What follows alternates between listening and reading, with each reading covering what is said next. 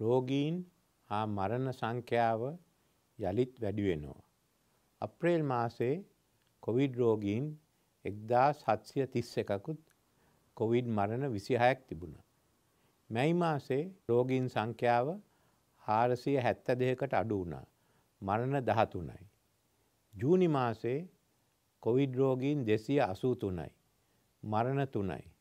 නමුත් ජූලි මාසේ කොවිඩ් රෝගීන් යළිත් වැඩි වෙලා තියෙනවා. එක්දා සයසිය දාසයකට මරණ තිස් පහක්. මේ මරණ තිස් පැහැන් විසි අටක් සිදුවනේ ජූලි දහටවෙනි දෑම් පස්සේ. මේ දිහා බැලුහම්ම තවත් එක කරුණත් තිබෙනවා ශේෂයෙන්ම කොවිඩ් එන්නත දීම ගැන්න. පළවෙනි වටේදී මිලියන දාහතක් කොවිඩ් එන්නත් ලබාගත්. දෙවනි වටේ එක මිලියන දාහතරකට අඩු වුණා. තුන්වෙනි වටේ කොවිඩ් එන්නත ලබාගෙන තියෙන්නේ මිලියන අටයි. අතරවෙනි එන්නත ලබාගෙන තියෙන්නේ විසි දෙදස් හයසිය විසිතුන්නයි. එහෙනම් තුන්වෙනි වතාවෙත් හතරවෙනි වතාවෙත් එන්නත්ත ගත්ත ප්‍රමාණය අඩු වෙලා තියෙනවා. විශේෂයෙන්ම බස්නාහිර පලාතේ. ඒ නිසා එන්නත්ත ගන්න එක යළිත් වැඩි කරන්ට තිබෙනවා. දැනට ලංකාවේ තියෙනවා එන්නත තව මිලියන අටක්. ඒක ඔක්කතෝබට මාස වෙනකං අපිට යොදවන්ට පුළුවන්. මේ මිලියන අටම අපිට ඔක්තෝබර මාසේදී අවසංක්‍රන්ට බැරි වෙනවා. ඒ නිසා කොටසක් වෙන රටකට දෙන්ට සිදුවෙනවා. මේ එන්නත ගෙනාව ඔබ වෙනුවෙන්.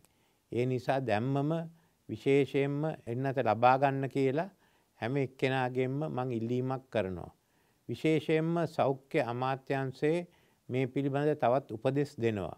ඒ උපදෙස් අනුව ක්‍රියා කරන්න සෞඛ්‍ය අමාත්‍යන්ස එන්නත ගන්න ප්‍රමාණය වැඩි කරන්ට ක්‍රියා කරගෙන යනවා. කරුණා කල්ලා මේ අවස්ථාවේදී සෞඛ්‍ය ගැන හිතලා ක්‍රියා කරන්න. මේ රටට යළිත් කොවිඩ් වසංගතයෙන්ට අවස්ථාවක් දෙන්ට එපා.